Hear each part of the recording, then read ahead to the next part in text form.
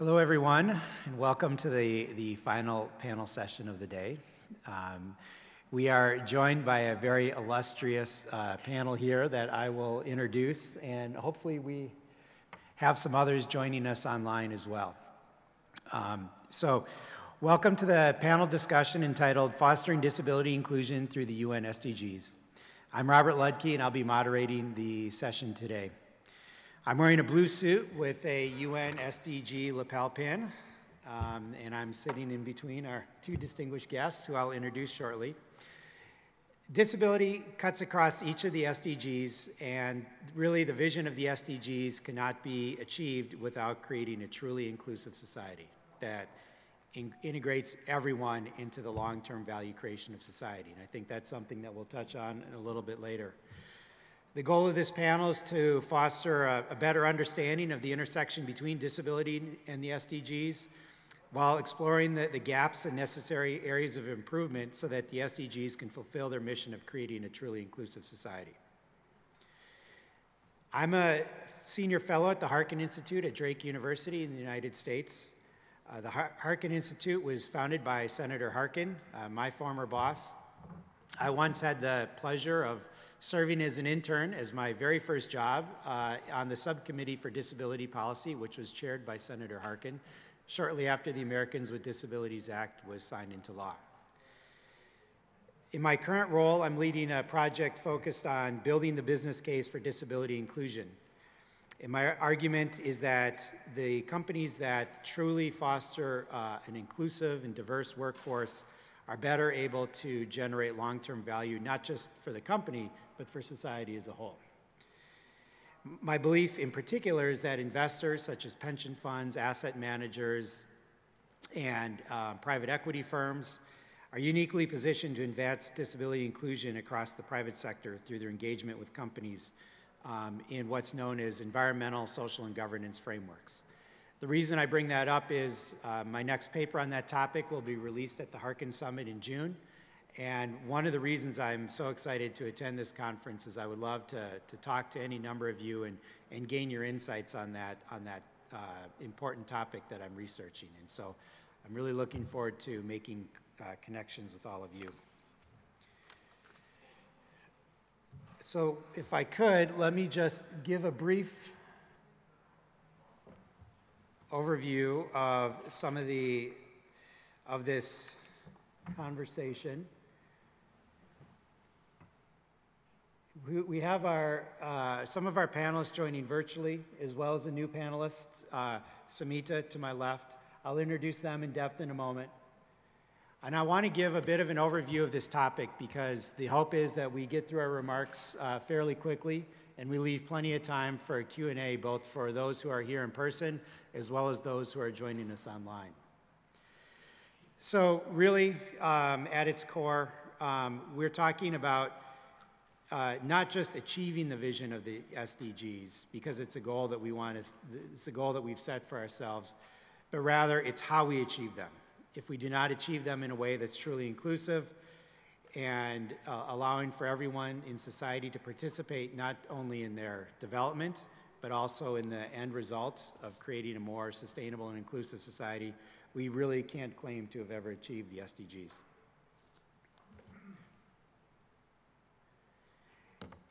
As we know, disability inclusion is intersectional to every one of the SDGs. Um, you really cannot say that you've achieved one of the SDGs if you haven't truly made it inclusive. The one that um, I believe that we'll actually touch on later in this conversation is the one that I think is most overlooked, and that's uh, Goal 17. And what Goal 17 is really all about is the collaboration across all sectors of the economy to achieve the other 16 SDGs. And, and again, I think that's one that often gets overlooked in conversations like that, and that's the one that we really need to, to focus on in, with audiences like this, where we have such a wonderful cross uh, sector of, of people from around the world and in all kind of industries. And the key question that we really want to focus on today is, from a disability inclusion perspective, what will success look like when the SDGs are achieved? And so as we are going through our presentations here over the next few minutes, I would ask all of you to keep that question in mind and use that to frame how you, how you want to ask us questions and how we can provide more insight and, and, and thoughts to the intersectionality of, of the SDGs. So now each, let me inter briefly introduce uh, each of our panelists. Uh, Daniela Bas, who is unable to join us, uh, has submitted a short video presentation. She's the director of the Division for Social Policy and Development at the United Nations Department of Economic and Social Affairs. In addition to her work at the UN, she has served as an advisor to the Italian Ministry of Foreign Affairs and the Council of Ministers on Human Rights and Social Affairs. My hope is Aiko Akiyama can join us. Uh, she is an international expert on disability rights and disability inclusive development. She's been uh, a disability advocate at the United Nations Economic and Social Commission for Asia and the Pacific since 2002, and, her, and she is based in Bangkok, Thailand. Caroline Casey, to my right, uh, all of you know so well, um, but I, I do want to briefly touch upon her work with the Valuable 500 because I think it does set the stage for uh, a lot of the conversation today. What I think is so impressive uh, about Caroline and the Valuable 500 is she launched it at arguably one of the world's most powerful forums at the World Economic Forum's annual meeting in Davos, Switzerland, which is really built around the, the cross-sector collaboration to achieve big objectives in society, such as the SDGs. Uh, through her work um, at the Valuable 500, she signed up 500 multinational organizations with a combined revenue of over $8 trillion employing 20 million people worldwide who are committed to radically transforming the system. And to my left is our, our newest panelist, uh, Samita Kina, Kinashakaran, um, has joined us. Um, she is um, she worked for over five years in Singapore and the Asian region, uh, helping build a more inclusive society there and she's now working on innovation, partner ecosystems, and fostering cross-sector collaboration um, here at the Project Zero. So with that, if we could cue up Daniela's video, we'll turn it over to her. Later in the presentation? Great. Okay, so Caroline. Oh, okay. We are now, we, we are now accelerating now your remarks. Good evening, everyone. um, firstly, I want to probably just do a bit of audio description, and I think it's probably will bring a smile to those of you at the end of the evening. So um, apparently I've been told I look like the green giant, or Hector, did you give me some other green magnificent goddess? British reference, sorry, let me just be British on that one. But the Green Giant is also quite, um, is that American as well as British? Anyway, I'm wearing a 1980s uh, quite uh, luminous green boiler suit uh, for the Zero Conference. I'm a white woman with very white blonde hair. I have a condition called ocular albinism, which means my skin is incredibly white, very blue eyes, and I have a pair of very dark black glasses. And for the first time in two years, I'm not sitting beside my washing machine. I am sitting in the main plenary room of the Zero Conference with, I think, a video of myself behind. So I was not expecting to speak first. I was always a good person to respond to things. But let me just respond accessory to what you're saying, Robert. I've been in this space of disability inclusion coming up to 22 years. Um, and it was extraordinary to me when I first came into this sector that disability wasn't named within the Millennium Development Goals. It was the absence of disability in life, in mainstream life, that contributed to the fact that I did not own my disability and was in the disability closet in business, which I tumbled out of about 20 years ago. When we talk about leaving no one behind. I used to be so frustrated when I used to sit at leadership events and hear things like education for all, inclusive travel, inclusive health, leave no one behind. And yet there was nobody there that was speaking about disability. And if disability existed, it was on a disability panel. It wasn't the voice of a leader with a lived experience of disability on panels speaking about education, policy, development, health, transport. And yes, there was a few extraordinary leaders who we all have known and stand on the shoulders of them, but often it was in a special session. Leave no one behind and disability being imperative in achieving the sustainable development goals. Absolutely. It's not even for discussion. We cannot eradicate poverty if we do not look to disability and how that is formed. We cannot eradicate disease if we're not willing to get the solutions to everyone. But it is extraordinary that in 2021 at COP, and I said this in our opening, that a Minister for Energy could not get in to join in the discussions about the safety and the well-being of our planet and environment because she was using a wheelchair. How is that still possible? So for me and the work that we do, and the part that Robert and I became incredibly excited about, and actually our first conversation, I think, was, went on for hours nearly, is in the same way that we cannot achieve the goals and the aims of the Sustainable Development Goals without disability inclusion. Well, we cannot achieve them without business. And there is no way that we can, in any hope, create an inclusive society without an inclusive business system. And if we look at the UN Global Compact, which touches 14,000 companies across the globe, with the attention of the CEOs, where has disability really been to date? Where has the disability metrics been within big business performance tools? How do we report on disability? Is it even reported on? When we don't speak about disability, it's the same as things that we don't measure, they do not get done. For me, and this is only from where we stand, and what the Valuable 500, I hope, brings to bear, because business is looking at the framework of the Sustainable Development Goals as we enter this era of collaboration and interconnectedness.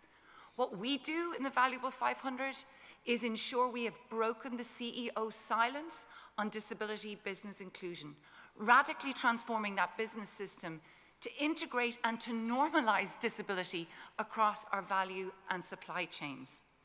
No more excuses, business. No more excuses.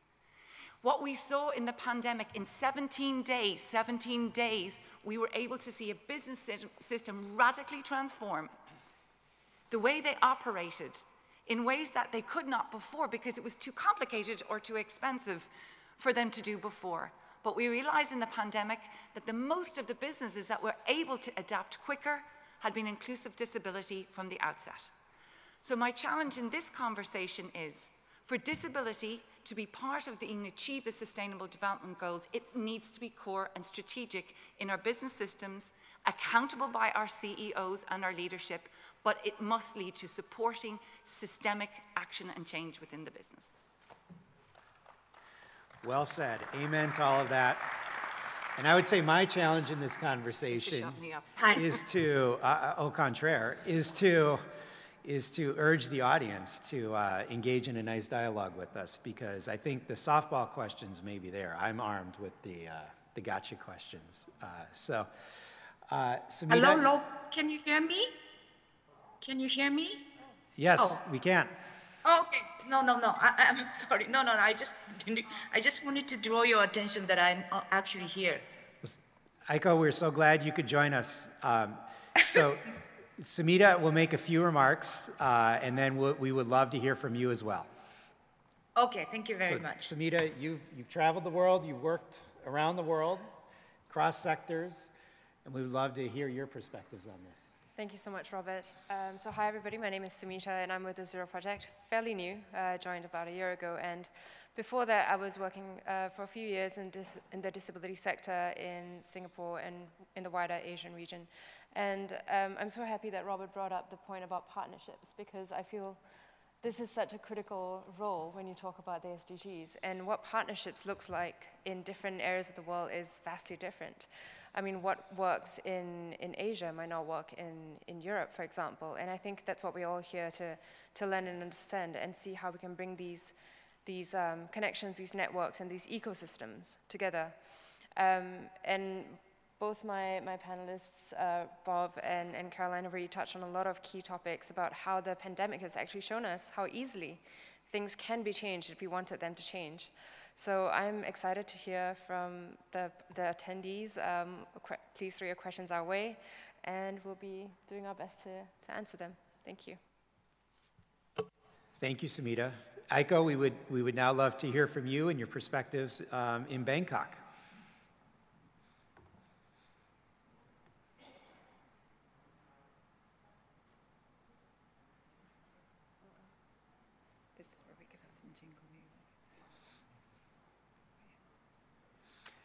Aiko, I think you're on mute. Good, sorry. There Hello, you can you hear me? Welcome, thank you. Good evening from Bangkok. And then I'm very excited while it's almost uh, sort of midnight here, but I watched the opening ceremony and then, then, then positive vibe is certainly emanating from there to Bangkok. Um, I, I think in terms of SDGs, Yes, actually the beauty of SDGs is to get counted to be counted, meaning that persons with disabilities are now in a position to get counted. Through SDGs, we, United Nations, request governments to provide data, being poverty rate or enrollment rate in schools or uh, uh, uh, um, website accessibility. All this data should be reported back to border. Are you able to hear me? I'm just kind of hearing myself and then is it clear? Hello? Can you guys yes. hear me? Yes. Okay, good. All right. Um, I'm from Asian Pacific, which covers 58 governments. I checked the voluntary national review paper submitted by 44 governments in Asia and Pacific. Actually, all of them talk about disability in their report, which I think is amazing. It's a good start. But at the same time, it poses challenge of disability inclusive SDGs in implementation. It's another side of coin. Again, how data of persons with disabilities are collected because not too many governments have a systematic ways of measuring the extent of disability inclusive development in, in, a, in a way so that the focal point of SDGs can submit the data to the headquarter. The perfect example of data, which is kind of, which is very important, but which is kind of lagging behind is the data on employment. But I'm, I'm so sure that, there are ILO colleagues there who can talk about it more. But I'm just outlining this challenge. But as Caroline said, I think these SDGs are very, eh, very good because it brings in people in different sectors. Now, traditionally, and then also in Asian Pacific, there's there still is an idea that issues of disability fall in social development and social welfare simply because persons with disabilities are regarded as service beneficiaries. But persons with disabilities are business owners, workers, professionals, most important of all, they're rights holders. So these ideas, actually it is reflected, these, these ideas are reflected in the SDGs, but it has to be implemented. So this brings in not only governments, civil society organizations, academics, private sector, you name it. Um, so I just like to say that our organization, ESCAP, has been really trying to promote the paradigm shift, of course, from charity-based approach to rights-based approach on disability issues, but going beyond ableism and going beyond only social welfare approach and really promote get counted to be counted approach. So we are building capacity of governments to do more disability statistics. In addition, this is my last point, and then I will you know, uh, enjoy questions and answers. Now we have within the UN system, UN Disability Inclusion Strategy, acronym of which is called UNDIS. That requires mainstream disability. Whatever you do, it doesn't matter UN, uh, uh a certain UN entity or section doesn't work on disability per se, but they are required to mainstream disability into their own work. So not only we are promoting disability inclusive development and disability rights to governments and private sectors and CSOs, we walk the talk. We also are requested to do that by the Secretary General. So there is a good synergy between SDGs and then UNDIS, UN Disability Inclusion Strategy, so to speak, there has been increasing, dramatically increasing number of UN entities doing more on disability work or working on accessibility. Although I noticed what Caroline said about the minister and was unable to even go into a international meeting, but I just like to know that there has been there have been very positive movements within the UN, and there have been a development of disability inclusion culture. So on that positive note, I'd like to finish my initial uh, statement and then and over back to you, Chair. Thank you. Thank you, Aiko. So let me ask uh, the first question, and I would like um, each of the panelists to, to answer this, and maybe we'll start with Samita and go to Caroline and then Aiko. And that is, um, you know, there's a lot of worry right now that we won't achieve and we're not on track to achieving the SDGs as a whole, uh, let alone, you know, regarding disability inclusion. I mean, we're talking, you know, resource consumption, pollution, um, you know, poverty and inequality. So where would each of you say, you know, almost as a report card, you know, wh where do we stand in terms of the disability inclusion aspects of the SDGs? Are we on track? Are we behind schedule? Are there some, you know, best practices we can we can take from and be excited about? So, Samita. Thanks, Robert. Um, personally, I feel this is a rather loaded question because um, when you talk about report card, it's easier to think of ourselves as individuals. You know, how does a country do? How does a region do? But I would caution and say that um, we are in this all, we are all in this together. Um, and we are only as strong as our weakest link. So if you have a country, I don't know, like the ADA that has a brilliant example of what disability rights and disability advocacy can do. At the same time, you have a country um, in, in Asia, for example, that doesn't even recognize discrimination or legislation for that matter how well are we really doing? Um, you know, is that an A? Is that an F? How are we? It, it's hard to say. And so I think we need to, to take ourselves out of this, um, this viewpoint of, okay, you know, um, for example, in Austria, sure, we're doing pretty well, but does that really mean we're doing well when it comes to disability? And when it comes to disability, it's so interconnected. We're going back to this whole partnerships, number 17 again, that it, I feel like we need to we need to think of it as a whole. We're only as strong as our weakest link. And so on that note, hopefully not too pessimistic note, I think we are on the right direction. But I think we can do a lot, lot better. And that's how we can all work together to, to kind of achieve that. Over to you, Caroline or Robert. Thank you. Aiko, if you're still with us, we would love to hear your thoughts on where, where you think we stand on, on achieving the SDGs um, in terms of disability inclusion today? Um, I think we are at the beginning. I don't think we are as uh, Sumita says, either off the track, on track. And then I think I already mentioned about the data issue. Um,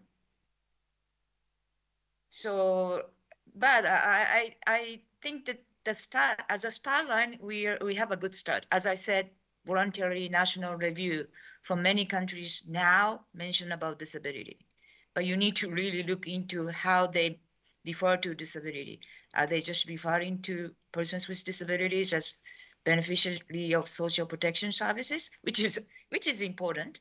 But as Mira says, like whether they are recognized as a human rights holder, whether uh, they talk about ensuring uh, anti-discrimination measures in place, uh, whether they talk about persons with disabilities as decision makers. Uh, we did a brief uh, analysis of VNR available uh, from 44 countries in Asia and Pacific, and it doesn't seem like that, that, that a lot of papers talk about persons with disabilities as decision makers, be it politicians or um, like, you know, head over some um, a decision-making mechanism such as some consultative mechanism on gender or climate change or whatever. So I think we are still looking in. I, I think that the country's uh, our government's approach towards disability inclusion in in the SDGs should be as comprehensive as possible. Not, I mean, of course, people like to have a you know low-hanging fruits approach to to look at uh, how services available for them, but I think we they need to expand their uh, horizons. That's my second input. Over back to you. Thank you. Caroline, any final words? um, this is so hard because I'm often accused of being too optimistic sometimes or too positive. Maybe people don't see me behind closed doors when I'm like gritting my teeth saying not enough, not fast enough. But I do agree with um, Aiko I think we're at the beginning, but I think we're at a different beginning. It feels like a different beginning from all the other beginnings before. I feel the environment is different, and I think what I am hopeful for is that we are seeing, to Sumita's point, this radical collaboration, even where we're seeing business brands. Like you saw Hector Minto and Christopher Patnoe from Google and Microsoft sitting on the same panel so when we're starting to see collaborative competition, I think that's where hopefully disability is being integrated now through collaboration, not left on the side like some special piece, but being integrated and woven in. And the key to this is we have to invest in our data. Our last big report on disability inclusion was what, 2011? Um, so we have to see that move forward, but we need to see disability metrics infused into it. And I could not agree more. We have fabulous talent with disability, but sitting in positions of power. Um, is there enough being done yet, Robert? No, because we wouldn't be here. But if we keep having to look on what we can build on, and I think what we're building on here is a unique collective around the world that can ensure that will change and this new beginning can be built on. That's what I choose to believe. Sorry, Robert. Uh, from Asian Pacific, uh, for example, in Thailand, uh, can you hear me? Oh. Yes, we can. Hello? Oh, sorry, sorry, because it just disappeared. Because I think you're asking some examples. Uh, we, we're going to talk about it tomorrow, but in Thailand, they're now trying to uh, integrate a public procurement process where a, a, a, a private sector uh, complying with uh, uh, accessibility standards or public sector being able to demonstrate the fact that they can produce accessible goods and services that these become conditions of uh, joining in the bidding. So you might think Thailand as a developing country or mid, mid uh, development country, but uh, here in Asia, the people study to to to to develop such uh, mechanisms, which is going beyond the social development and social welfare uh, uh, arena, so to speak. Or even in my country, in Japan, people are more open and interested in um, mainstreaming disability perspectives into entertainment industry. Uh, like be it uh, film or hospitality industry or TV. So there are more like dramas on TV, which which talks about persons with disability, disabilities, uh, not in a non-serious way. So uh, yes, uh, as Caroline said, there have been pockets of success coming out um, as we are surrounded by uh, enabling uh, uh, instruments such as SDGs, and of course, Convention on the Rights of Persons with Disabilities. And also, don't forget Sendai Framework on Disaster Risk Reduction. Thank you, and over back to you. Caroline, please. I have to, I have to say that issue of procurement is, a, is something we're starting to see within the valuable 500 companies. And I do that, think that's where you see, you know, cross-sectoral change or the systemic change when a company like Vodafone, for example, had put a policy in place to ensure that anybody that it had on its supply chain had similar practices, policies, and procedures. And if I think about the conversation you and I have been speaking about investment, that is where we can trigger a more systemic move and a more integrated approach. So yeah, I totally agree with Aiko. Well, and to, to build on that point, I do a lot of work uh, looking at global supply chains, and there are a lot of tells in how a company is either responsibly or not responsibly managing its supply chain. If in its procurement, it is specifying things like inclusion in you know, certain environmental standards, compliance with some of the standards we've talked about today. That is a tell of a responsibly managed supply chain. That is a tell of a company trying to affect systems change.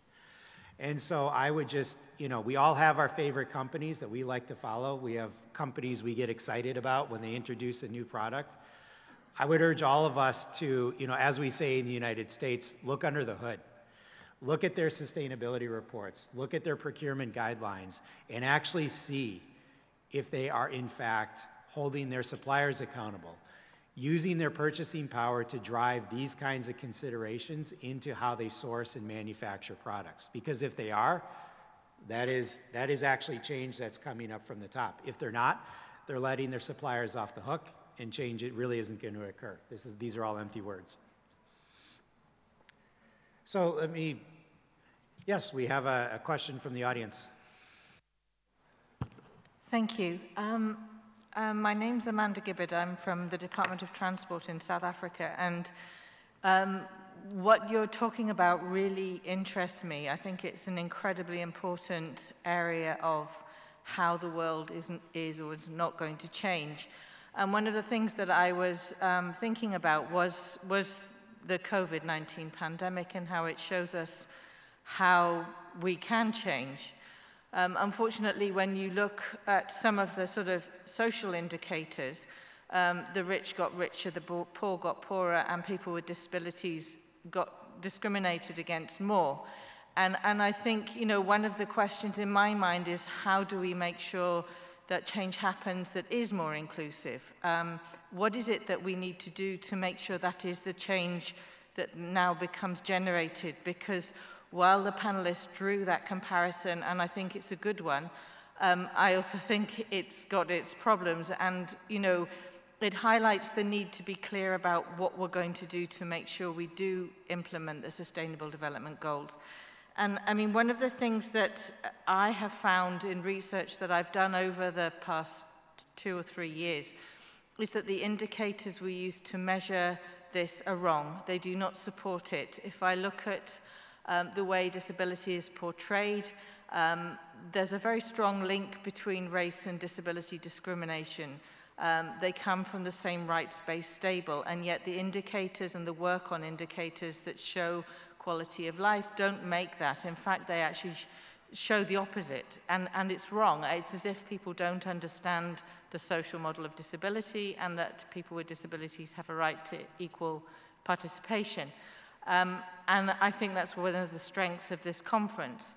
Um, I also think that we have need to deal with it because we are all disabled when we're old. We all have disabilities if we don't have them now when we're old. And other people will be in the positions that we are in now. And if we don't do something about it, they're not going to do anything about it unless they realize it then, and it'll be too late for those of us who are heading towards old age perhaps more rapidly.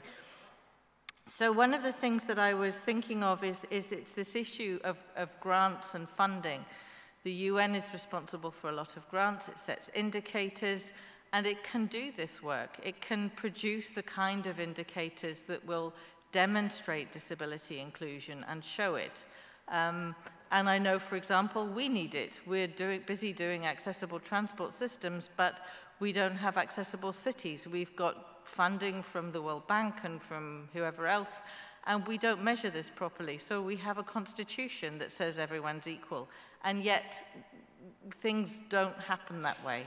So what I'd like to do is ask the panel what they think can happen um, so that we get those indicators and we're clear about what we're measuring not just for global supply chain in the private sector, but for governments to use as tools to measure so that they can see whether the money that they're getting from these private companies or from international funders is spent in the right way and really, really benefiting those people who need this accessible society that we need to create through the SDGs. Thank you. I know it's a bit of a mouthful, but thank you for letting me say it. It's been on my mind.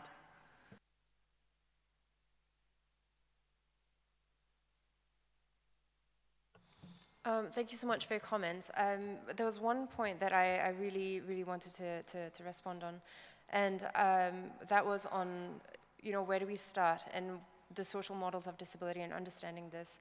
And I think, in, as unfortunate as it sounds, I feel, personally, I feel that disability has become such a political issue.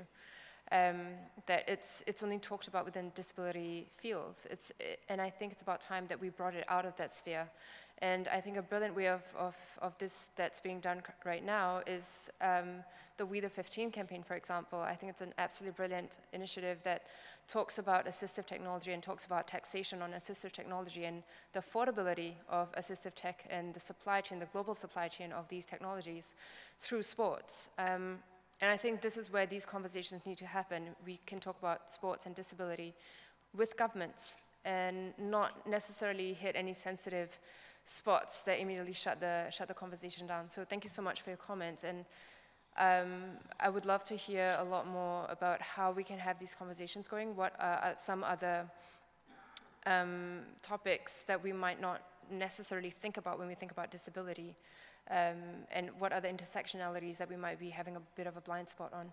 Um, I see Hector had a, had a comment, I think, um, so handing it over to you. Thanks. I'm super interested in this ESG comment you made at the start, Robert. Uh, I think actually one of the biggest failings we've had, actually not a failing, but I think we're living in a world where companies are talking about sustainability, but disability is just not in ESG. Like even the companies who are doing ESG audits, the companies that are doing guidance, they're not talking about disability inclusion or the structural inaccessibility that's built into businesses and employment and education around the world. So what do we need to do as a community to, to, to find our way into ESG? Um, can I pick up on that one? Um, Hi. This, oh, oh this issue of the ESG um, has come up quite a lot regarding within the World Economic Forum, Hector, and one of the barriers that they speak to that comes up again and again from the corporate world is the issue of self-ID. And when we speak to that, it's about that well, I can just give you a piece of research from our valuable 500 companies. 63% of our companies do not know the makeup of their employee base. And when we speak to actually really revolutionizing the way disability is within business or within the ESG model, they say, how can, how can we do that if the legislation in our countries does not allow us to um, ask about the true nature of our employee base? Now, our challenge and pushback is, well, why are we not creating cultures of trust to where it's not based on your legislation. But just to say that is a really significant barrier the business world are seeing or are speaking to around the barrier for the ESG model and disability being there is the issue of self-ID. That's a very important point. point, and Hector, um, last year the Harkin Institute convened a series of panel discussions between the disability community and investors and, and those in the private sector. And, And the most consistent piece of feedback we received from the investors was they don't understand disability inclusion. So they, they can't create the indicators. They don't know how to then go into the boardroom of these big companies, or any company for that matter, and say, these are the things you need to look at when you are integrating disability inclusion into your ESG frameworks. And so, and it even goes into the venture capital world. They are, they are an open book. The venture capital community is an open book for the disability community to engage with. So that from day one, even before day one, when a company is, a, is in the conceptual stage, that's when you want to integrate disability inclusion into the company. Because after they've received their funding, as one of the venture capitalists told me, it's too late. Yeah. They're just trying to survive, right? They're trying to meet all the pressures that are on them when you, when you launch a new venture. And, and so I do think it is incumbent upon the disability community to do more to build bridges with investors of all kinds, be they venture capitalists, be they asset managers, be they, you know, state uh, government-run pension funds and things like that, and educate them. You know, educate them between the, the link between a truly inclusive, innovative workforce and long-term value creation. I mean, because that's what they're there for. I mean, that's, that's what investors want. They want to invest in the Microsofts, the Vodafones of the world who are innovating 15, 20, 30 years down the line. So help, help the investors get there. And I think we, we, we all can do a better job on that. May I come back to the person who made questions uh, before Hector? Please, yep. Okay, thank you. Uh, uh, I, I, mean, uh, hearing what she has been saying, two two words popped up in my mind. One is government's investment into people. Number two is looking at persons with disabilities not as a risk factor, but opportunity factor. So with regard to the number one thing of investment part, I'm not talking about private companies investment because this he, she was talking about widening inequality and then obviously a lot of governments do not prioritize persons with disabilities when it comes to financial planning and all. But if a government looks at this issue as a matter of investment into people, that might there might be a different scenario. I'm talking in an abstract term, but then that also comes to the to the second point about like uh, what to be measured uh, and the indicators that she was talking about rather than looking at persons with disabilities as a risk, but for example, what I'm saying is like looking at the universal design principle, if we have ramp, that would be less dangerous for many people, including persons with disabilities, right? So if there is a quantitative, scientific and quantitative research to, to, to, to prove that safety and, and less risk factor of uh, less uh, risky uh, results of having a universal design in place might be contributing to an idea that uh, doing something for persons with disabilities is an investment and it's actually creating less risk for society as a whole. Am I making sense? So that's my third input. Over back to you. Thank you, Aiko. I know we have two more, at least two more questions. Uh, so the gentleman in the third row, will start here.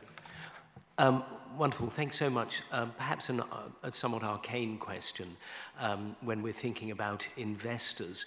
Do you think that the lack of understanding um, on the part of investors is one of the reasons why we have not seen any um, lawsuits in the US against company managements for dereliction of their fiduciary duty to try and employ the best people who are out in the market. Because if they don't include persons with disabilities, they're automatically um, excluding a universe, part of the universe of people who should be chosen or even look, just looked at. Um, and um, to me, that's a, a, total dereliction of one's fiduciary duty as a manager or uh, indeed a director of a company. Should I answer? Yeah. Okay. I think I would go beyond just the, the lawsuits and the, I would look at it as just a lack of overall investor engagement on this topic, not just with the entities in which they invest, but engagement with policymakers, uh, particularly at the, at the federal level in the United States with the Securities and Exchange Commission. Um, this, to its credit, the Securities and Exchange Commission, even in the Trump administration, started taking some tentative steps to um, require, co compel companies to better disclose how they're investing in their people. There is a huge opportunity to use that process that is in its infancy in the Securities and Exchange Commission to educate a lot of people um, on the importance of disability inclusion to those, those very points. The, the, the, the innovation, which leads to the long-term value creation, not just for the companies, but more importantly for society as a whole.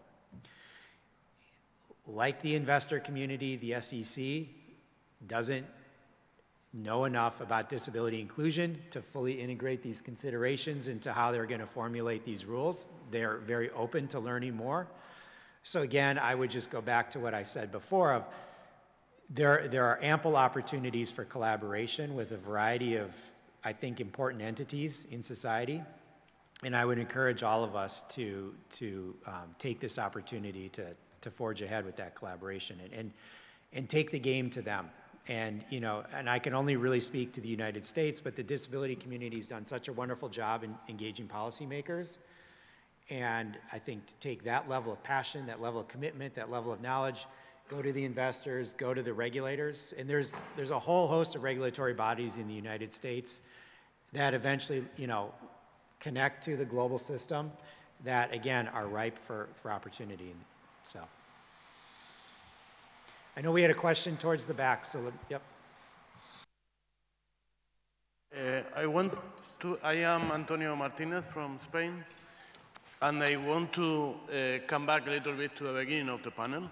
Uh, we, there were some questions, where are we? Are we at the beginning? I uh, agree with Caroline that we are at the beginning, but at a different beginning. And I would like to stress that I think the most important step given in the last decades in the field of disability is the approval of the International Convention on the Rights of Persons with Disabilities in 2006. This is really the shift of paradigm, the change of mentality. It has uh, required governments to do lots of legal changes. So I think uh, it has also uh, had a great influence in the United Nations system itself that now is more, uh, takes more into account the problems and the barriers of persons with disabilities. And, uh, but the question, the problem is that the, the, this convention is a legal document. It's, it mm, requires a change of mentality, and changes of mentality are not so easy. So my question would be, what else can we do? What else can United Nations, for example, do, and the governments do to uh, change the mentality and to, uh, sense, uh, to, to convince, uh, persuade everybody that the problem of persons with disability is not a problem of charity, but the problem of rights. Thank you. Aiko, if you're still with us, I would love to hear your... Yeah, I'm here. Um, it's, it takes time to change minds individual minds and collective minds and society's attitudes towards persons with disabilities. But I agree with you, it's very important to really change them. How? For us, being a part of a United Nations, we do it in different ways, uh, but uh, we keep on saying the same message that the persons with disabilities as uh, rights holders. But you, if you just keep saying the abstract words, it doesn't uh, sink into people's hearts, right? So again, I'm sorry that I, I, I've been passionate about this uh, public procurement uh, methods, but I really think that that uh, doing, for example, uh, uh, promoting preferential contracts to businesses which are disability inclusive, and then if the government is leading that public procurement initiatives, and that will change the flow of money and that will also started to affect the mindsets of people that persons with disabilities are not just a beneficiary of some specialized schemes. Because when we talk about preferential contracting to some businesses which are disability inclusive, we are not just talking about persons with disabilities being hired, but they regard persons with disabilities being in management and, and or uh, accessibility through different dimensions are in place. So I, I, I'm so sure that you don't, you might not be satisfied with my answer, but my uh, immediate response is to demonstrate the rights are being realized uh, by initiative of governments and then their partnership with the private sector. Then at the same time, organization like us or all of you continue to to to convey the message of persons with disabilities as same people as uh, just like any one of anyone uh, and holding uh, uh natural rights. Sorry i might not be satisfying you but uh,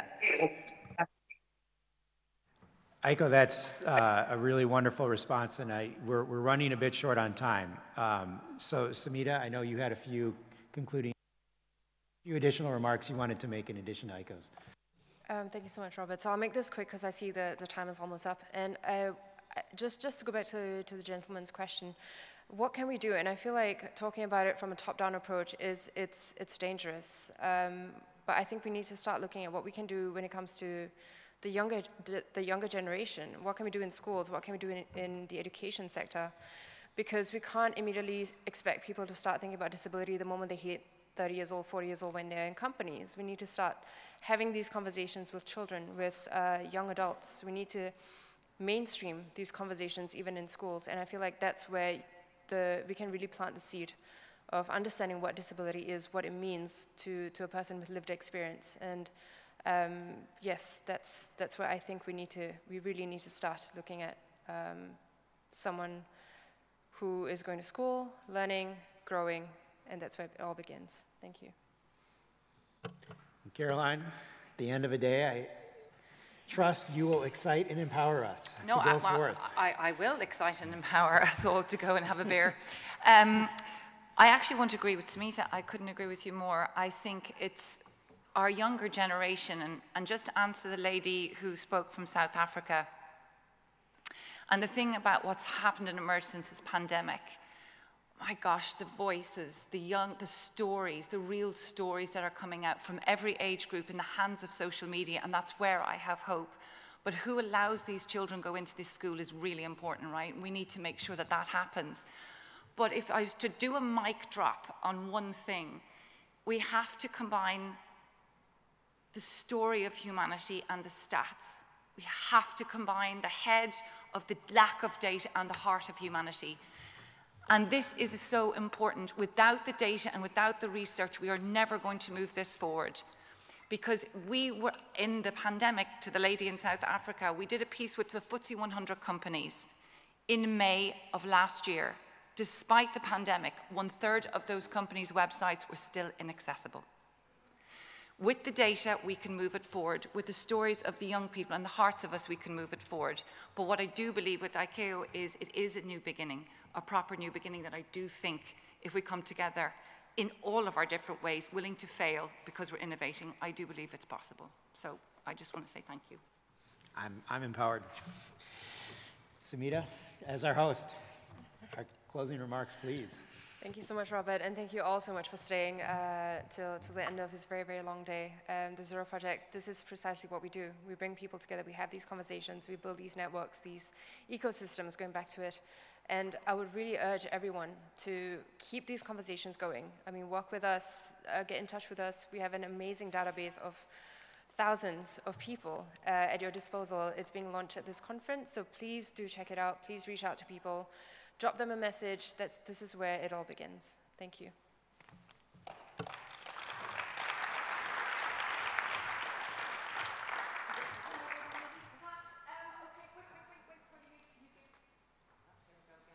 And I have a new hat on. Hi, how are you? and I come back down in as the moderator. Firstly, thank you, Robert, Aiko, Sumita. Thank you so much, Daniela Bas.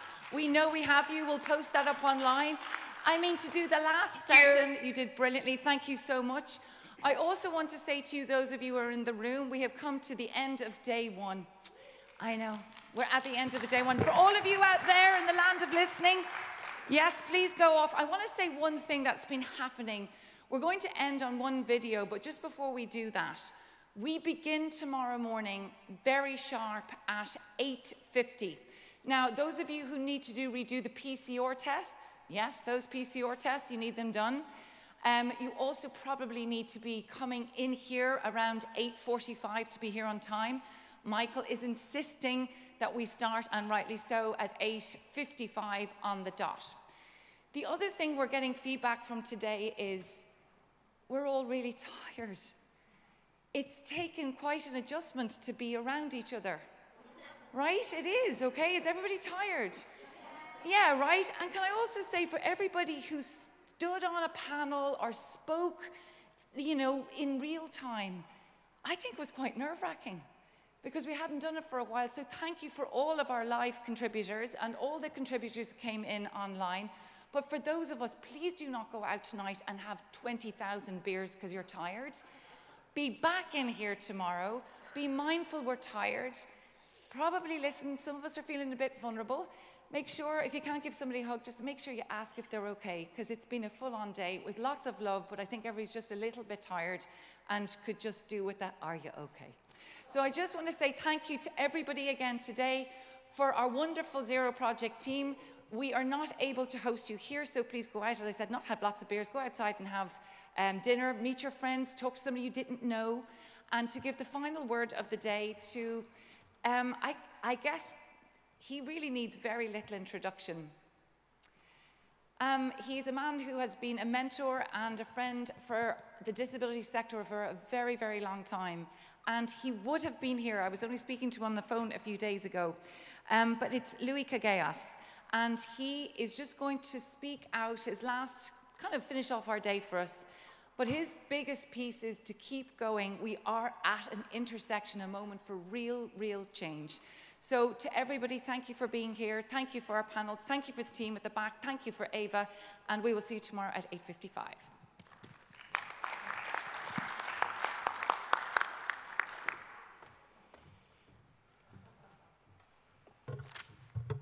Ladies and gentlemen, it is an honor and a pleasure to participate in the Zero Project Conference ZeroCon 22 and hear from world leaders, speakers from renowned organizations, and innovators from around the world uh, discussing advances of accessibility for persons with disabilities.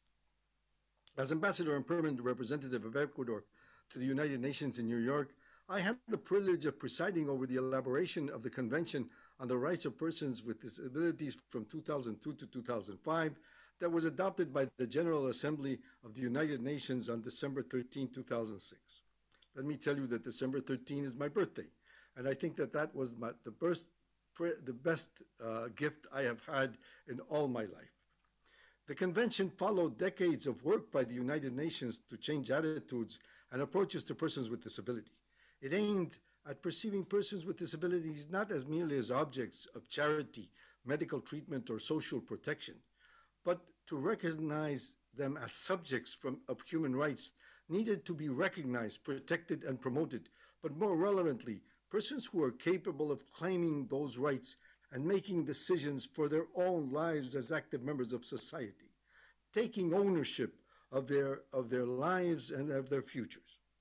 Dear friends, Article 9 of the Convention on the Rights of Persons with Disability addresses accessibility with the aim to ensure access with uh, persons with disabilities on an equal basis with other persons. Persons with disabilities have the right to live independently and take part in all aspects of life. To achieve this, countries must may take appropriate steps to give persons with disabilities access to places, transportation, information, and services that are open to the public as members, as parties, as, as state parties of this convention, they are obligated by an enforceable treaty to do so. The line of the CRPD definition, ZeroCon 22 provides today insight from public transportation systems to financial inclusion, corporate strategies to national action plans, and much more that is surely going to enrich the discussion on the topic of with widespread implications. I look forward to learning from good practices from the world of built environment, infrastructure and transportation, information and communication technologies, smart cities, tourism, disaster recovery, workplace adaptation, and universal design, all toward an accessible world without bar barriers that we can all enjoy. I also look forward to congratulating the 2022 awardees for their work toward inclusion, accessibility for all, and commitment to universal design. The awardees come from 35 countries, which encourage us to continue working at an international level for inclusivity and equality that aim to provide persons with disabilities with respect for their inherent dignity and individual autonomy, free from discrimination, in full and effective participation in society. Dear friends, to conclude, let me state that I am convinced that we still have a long way to go for the full inclusion of persons with disabilities. Accessibility and strengthening inclusion, the sense of belonging, solidarity, and equality must be our priority. The Zero Project Conference can contribute to build societies free of discrimination and without the barriers that limit the enjoyment of human rights, in particular for persons with disabilities. Thank you, and may you have you and your families take care in this in important and, and very complex times in our history. Thank you very much.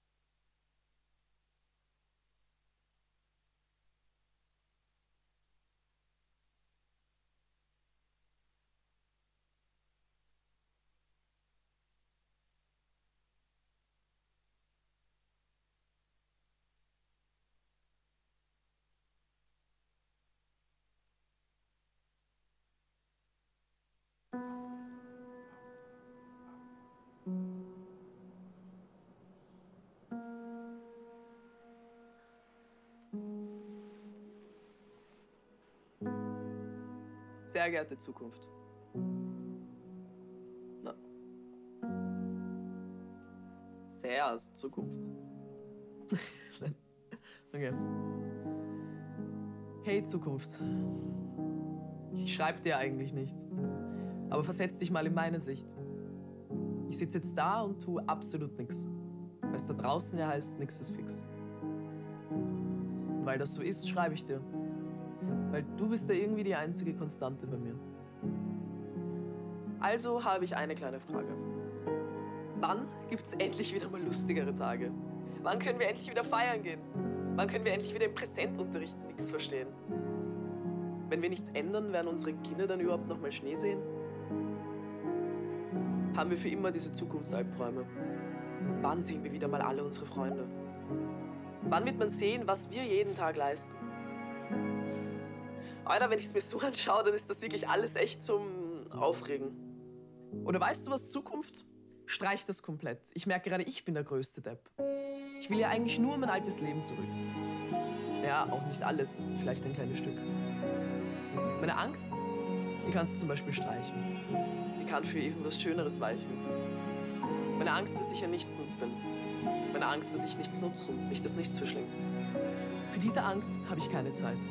Ich bin jetzt klüger, endlich gescheit. Ich merke nämlich gerade Zukunft. Du bist zwar groß, aber limitiert.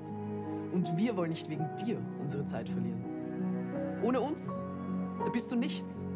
Also solltest du uns so nennen und wir nicht dich. Wir werden tanzen und lachen. Wir werden singen und schreien. Ah!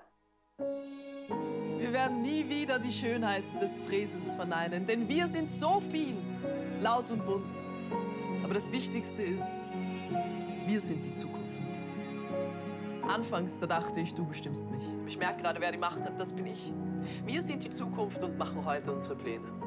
Nie mehr wieder vergessen wir wegen dir eine Träne. Also, weißt du, was ich wirklich von dir will? Gar nichts. Setz dich hin, schau mir zu und sei einfach still.